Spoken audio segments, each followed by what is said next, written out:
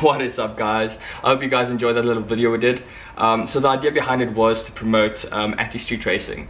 Uh, we'll probably get a lot of flack for it, but it is what it is. Uh, it, the idea behind it is sincere. So for those of you that know Infamous Rivals, you guys know we love any form of motorsport. Um, but you guys also know that unplanned things go wrong. Uh, and unfortunately in the form of street racing, it's usually the people that are the innocent bystanders that get hurt. Um, so for those of you that even know me personally, you guys know I love racing in general. I love it and I, I, try to do it as much as possible, but I do not do it on the streets purely for the fact that the people that end up paying are the people that are not partaking.